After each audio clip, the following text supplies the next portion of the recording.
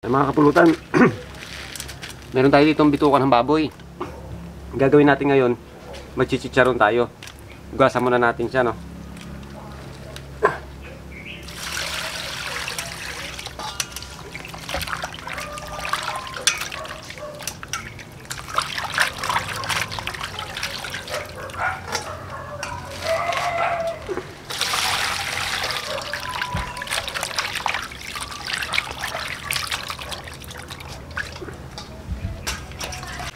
Ihiwain muna natin siya ng mga ganito kalalaki, ah. Yan.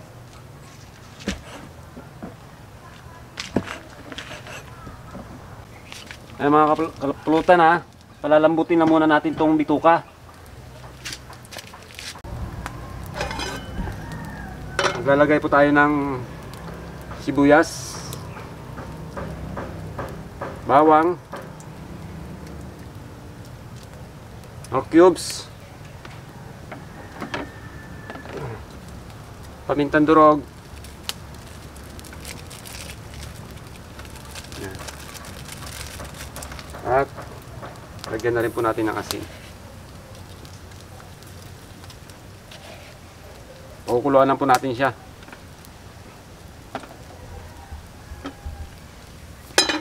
Mga kapulutan habang naghihintay tayo dong lumambot yung ating ating bituka ng baboy. Gagawa muna tayo ng pampagana. Gagawa tayo ng ano, pickles na dahon ng sibuyas. Yan, tuturuan ko kayo paano gumawa. Lilinisin lang natin to ng, ma- ng maigi ah, mga kapulutan.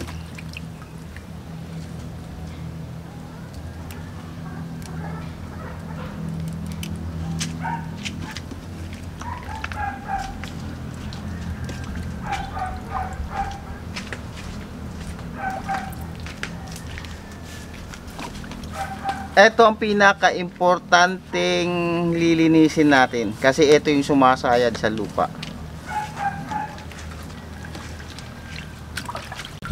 So yan mga kapulutan malinis na to ano. Ang technique nito sa paggawa kailangan maputol natin tong dulo. Kasi mamaya pag nilamas-lamas natin to magkakaroon to ng hangin sa loob. So, para hindi siya magkaroon ng hangin, tanggalin natin 'to. Yan. Tanggalin tanggalan natin ang dulo.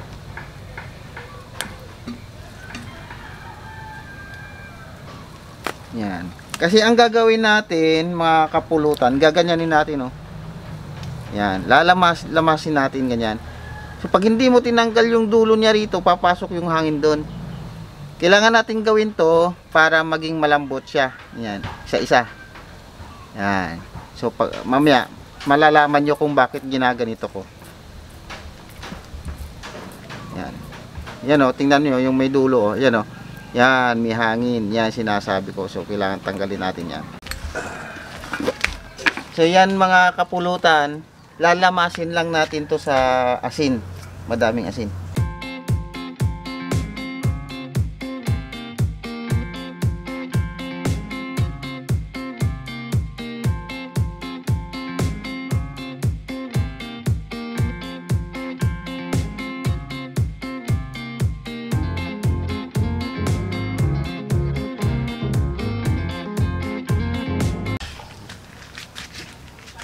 So yan mga kapulutan ang gagawin natin. Kukuha tayo ng isang hibla ganyan. Alam nyo ba yung tali nung ano? Pagtali ng parang sa ang tawag doon? Tanlad. Ganun lang po. Gaganyanin lang natin. Yan. Yan, ganyan lang. Ito na yung labas oh. Yan. Yan. Lagyan uli natin ng asin. Tapos ganyan lang. Tanggalin natin yung katas.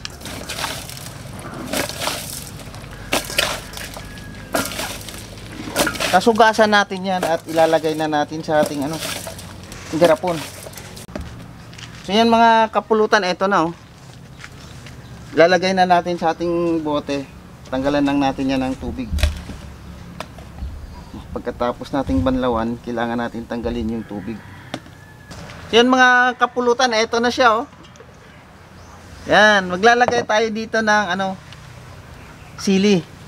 Pero depende po sa inyo yun kung gusto niyo me- medyo maanghang. Yan. Tapos importante lang dito mga kapulutan, pag naglagay po kayo ng suka, yung umaapaw po.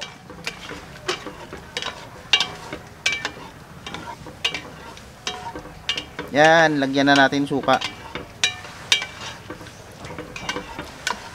Yun. Antay-antayin lang nating bumaba yung suka hanggang ano. Kasi manunuot pa po yung suka dyan eh. Yung gagawin natin, dagdag lang ng dagdag. Pulutan, eto na yung oh. Pwede na ito sa loob ng tatlong araw. O kaya mas masarap, isang linggo. Ah, Tatakpan lang natin.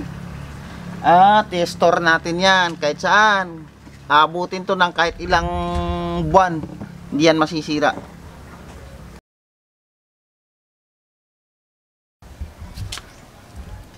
Mga malambot na siya, oh.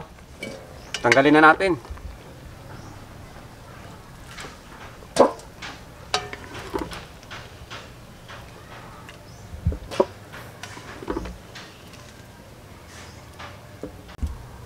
Mga kapulutan, mainit na yung mantika natin. Magpiprito na tayo nito.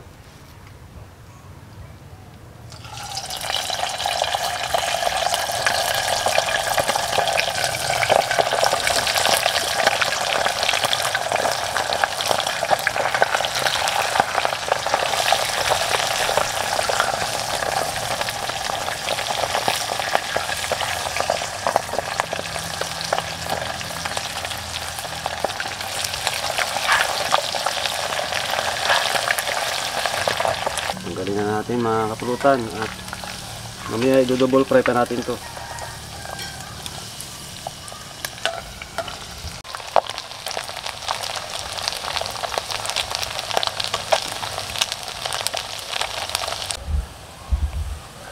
Ah, luto na mga kapulutan, tanggalin na natin siya.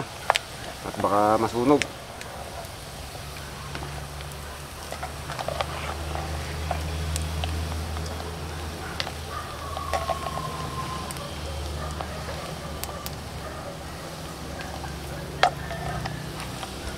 Yan. Chicharon bituka. Masarap yan dito oh. Tsaka yung ano, Sinamakan. tsaka yung ginawa namin na ano, Ito. Lagay dyan. Para makita naman nila. Kitang kita naman nila. One week lang. ah, lagay mo dito para makita nila. Yan. Oh, doon sa gilid. Mabango na.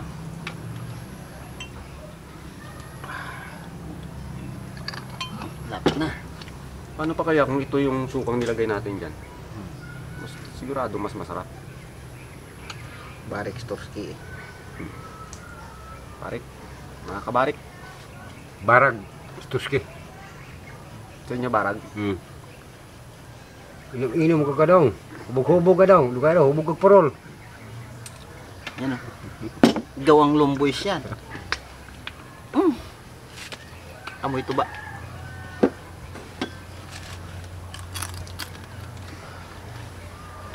Gumo ka.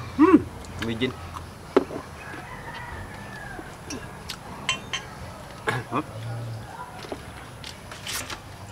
Namahintay yung sangkawan.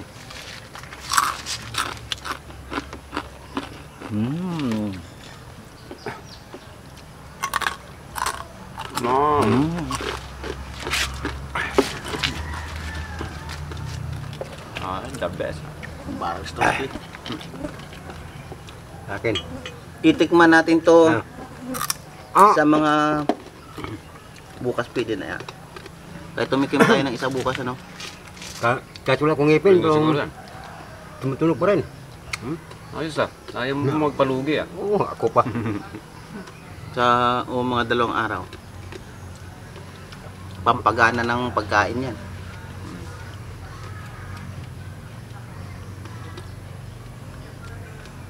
Sarap siguro to sa mga inihaw, no? Na isda. Side dish lang yan. Side dish lang. Pampagana.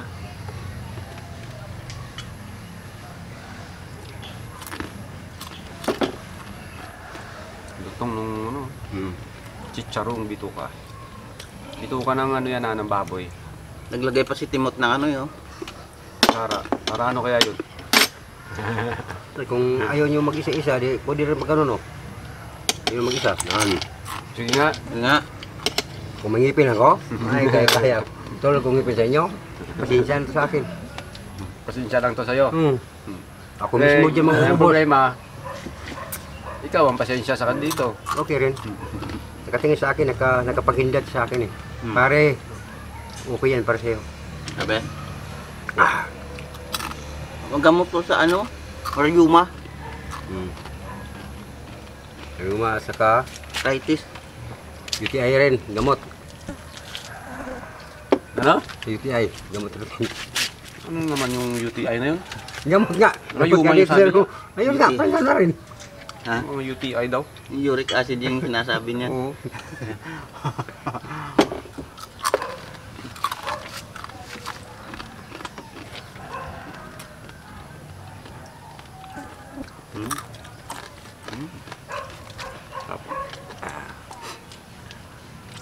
Para lang siyang cornic. Tuski. Ang sarap. Ano ba eh? Meron ka namang ano, Ano? kaula. Kapon Wala. ako naman eh. Yun nga. Wala ko, naiwas bahay. Ikaw. Ako meron ako.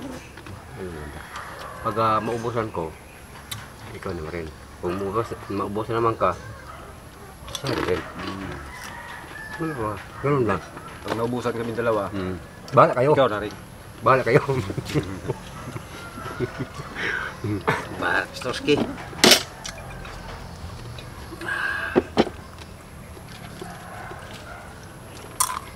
Sarap po. Mga kapulutan, oh. Simple lang.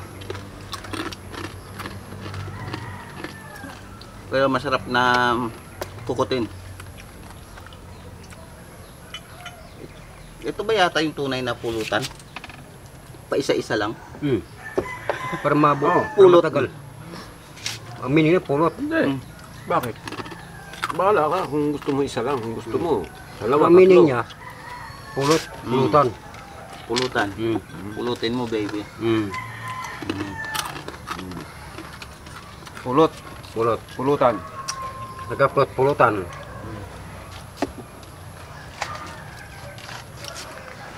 Pulutan ko kay Diaz. Mga kapulutan, meron naman ako pahula sa kanila.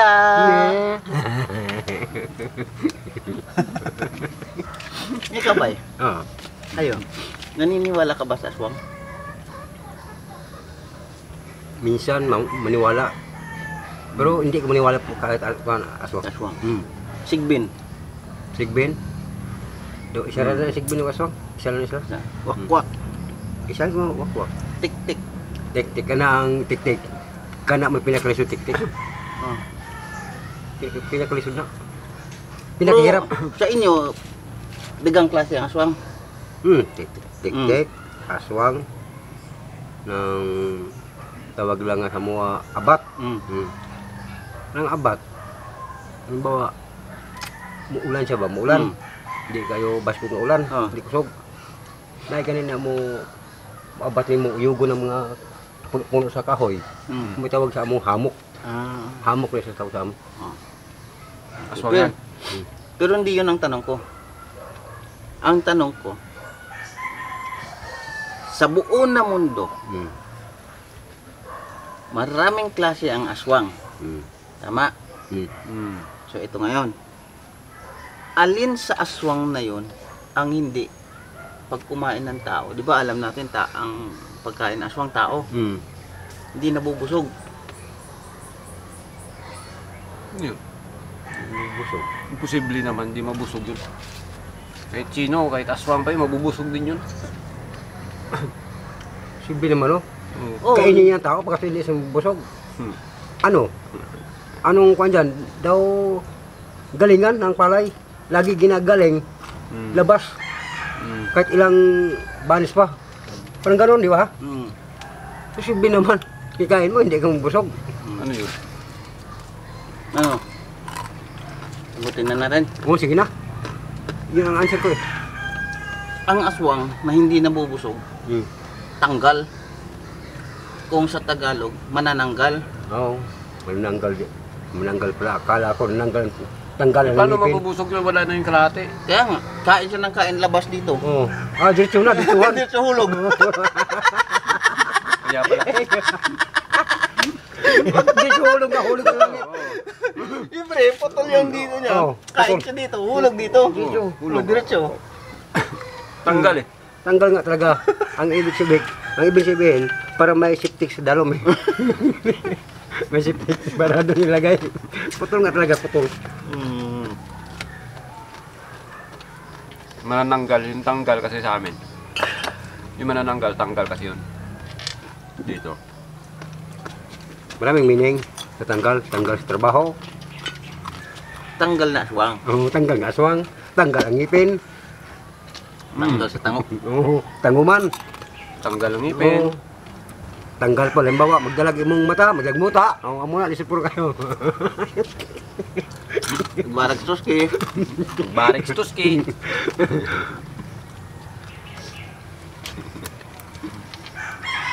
Lalo nga nga, anong isang tao, Hmm.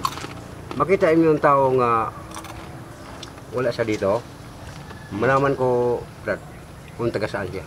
Mm. Sabihin ko, halimbawa, Brad, taga saan ka? Hmm. Di- Dito ko, halimbawa, ilagay natin sa ano, pandan. Halimbawa lang ha. Sige, oh. Hmm. Sabi ko, hindi ko maniwala sa'yo, sabi ko. Hmm. Bakit, bakit alam mo? Ako sabihin sa'yo, sa, saan ang panggalingan mo? Alam ko rin. Mm. Ba't alam mo? Bakit nga? Sabi ko, tingnan mo kung ano, galing ka waray eh. Ang panggalingan mo waray eh. Samar. Oh. Mm. Ang Paano mo ibig sabihin, waray ka. Hmm. Wara ka lubot. Samar ba eh? Wara ka lubot. Hmm. Yan ang malaman kung uh, galing siya sa ano, Mm. samar. Ang samar ba eh? Wara ka maunto, wara ka man buhok, wara ka man lubot. Mm. Oo. Yan ang alam ko nga, Pero yun lang alam mo. Oo. Summer lang. mm, samar. Oh, tapos. Kinuha ko yung upos, dahil pagkatapos.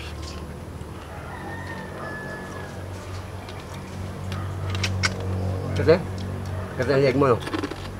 Pati ng ulo. Oh, yun. Pati ng i- batok. Sumakit na naman yung ulo ko doon. Tagal ko namang inintindi. Hindi ko talaga maintindihan. Ganun pa rin Kayo na magkat. balang humusga. Ganun pa rin magkat. Kayo na balang humusga.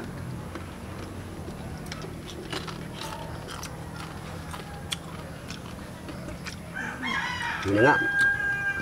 Tagal na tayo. Hmm. Waray lubot. Waray buhok. Wala maunto. Waray unto. Ayos ka bata. Usam ko ka daw ko eh. Ay, nako, Timot. So, ano, magpapaalam na tayo? Oo. Ayan o, mga kapulutan o. Pulutan tayo. Pulutan muna tayo. Ah,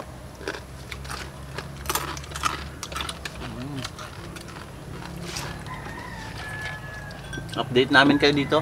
Kung ano nangyari dyan. Kung masarap ba o... Hindi. panigurado yan, masarap. Gawang lumboy siya. Yan mga kapulutan, maraming maraming salamat po sa inyong lahat. At 54,000 na po tayo. Hangad lang po lagi namin ay kapayapaan sa mundo. Mabuhay, tayong mga Pilipino. Susunod na po yung shoutout ha.